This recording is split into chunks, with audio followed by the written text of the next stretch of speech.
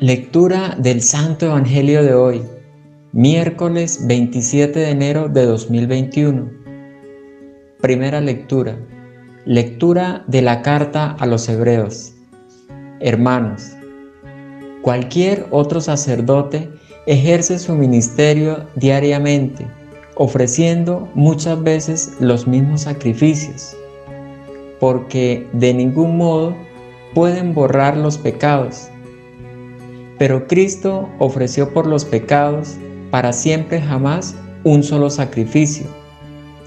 Está sentado a la derecha de Dios y espera el tiempo que falta hasta que sus enemigos sean puestos como estrado de sus pies. Con una sola ofrenda ha perfeccionado para siempre a los que van siendo consagrados. Esto nos lo atestigua también el Espíritu Santo.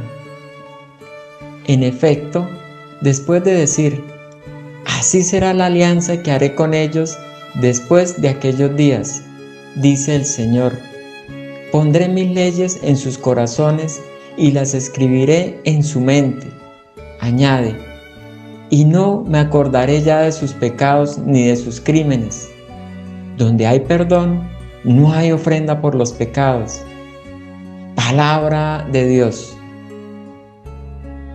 Salmo responsorial. Tú eres sacerdote eterno según el rito de Melquisedec. Oráculo del Señor a mi Señor, siéntate a mi derecha y haré de tus enemigos estrado de tus pies. Tú eres sacerdote eterno según el rito de Melquisedec. Desde Sión extenderá el Señor el poder de tu cetro.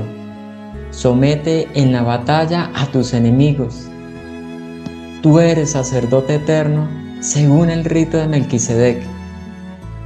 Eres príncipe desde el día de tu nacimiento, entre esplendores sagrados. Yo mismo te engendré como rocío, antes de la aurora. Tú eres sacerdote eterno según el rito de Melquisedec. El Señor lo ha jurado y no se arrepiente Tú eres sacerdote eterno según el rito de Melquisedec. Tú eres sacerdote eterno según el rito de Melquisedec.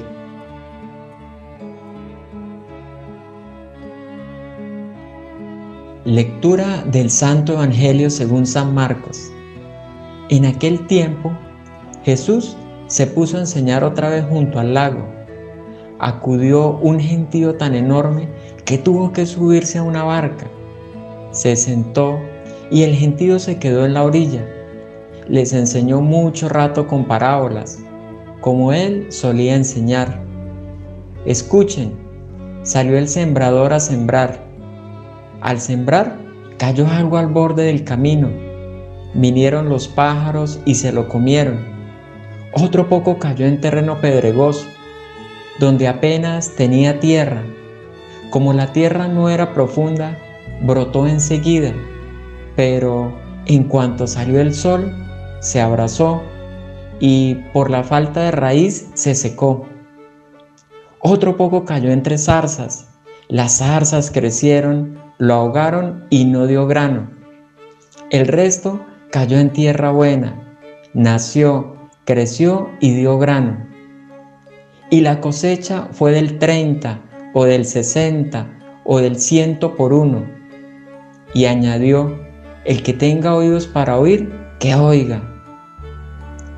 Cuando se quedó solo, los que estaban alrededor y los doce le preguntaban el sentido de las parábolas. Él les dijo, a ustedes se les ha comunicado los secretos del reino de Dios. En cambio, a los de afuera solo se les presenta en parábolas, para que por más que miren, no vean por más que oigan, no entiendan, no sea que se conviertan y los perdonen. Y añadió, ¿no entienden esta parábola? Pues, ¿cómo van a entender las demás? El sembrador siembra la palabra. Hay unos que están al borde del camino donde se siembra la palabra, pero en cuanto la escuchan, viene Satanás y se lleva la palabra sembrada en ellos. Hay otros que reciben la simiente como terreno pedregoso. Al escucharla, la acogen con alegría, pero no tienen raíces, son inconstantes y cuando viene una dificultad o persecución por la palabra, enseguida sucumben. Hay otros que reciben la simiente entre zarzas. Estos son los que escuchan la palabra, pero los afanes de la vida, la seducción de la riqueza y el deseo de todo lo demás los invaden, ahogan la palabra y se quedan estéril. Los otros son los que reciben la simiente en tierra buena, escuchan la palabra, la aceptan y dan una cosecha del 30 o del 60 o del 100 por uno. Palabra del Señor. Apreciada comunidad, gracias y gracias por estar presentes en el Santo Evangelio de hoy.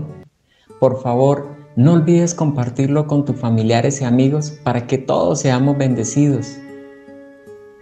El Evangelio de hoy, Marcos empieza otra sección con cinco parábolas que describen algunas de las características del reino que Jesús predica. La primera es la del sembrador, que el mismo Jesús luego explica a sus discípulos.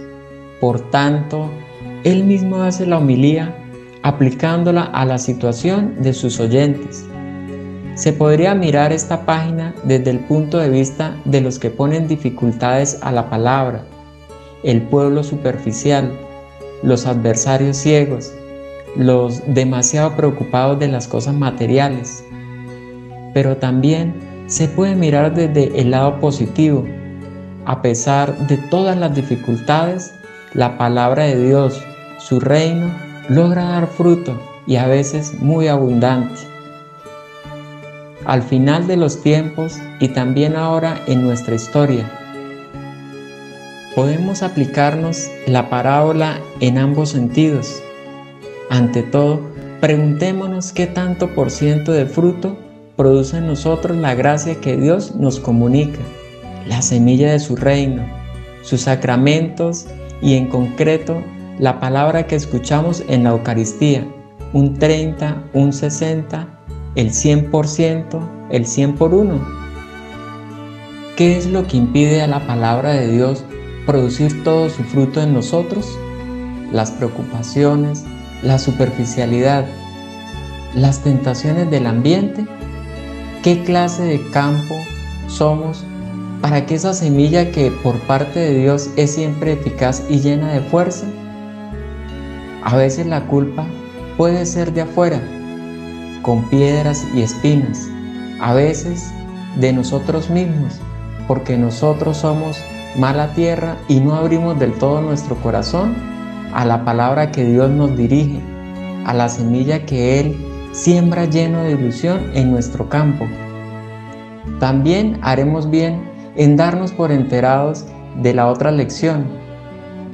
Jesús nos asegura que la semilla sí dará fruto, que a pesar de que este mundo nos parece terreno estéril, la juventud de hoy, la sociedad distraída, la falta de vocaciones, los defectos que descubrimos en la iglesia, Dios ha dado fuerza a su palabra y germinará contra toda apariencia. No tenemos que perder la esperanza y la confianza en Dios.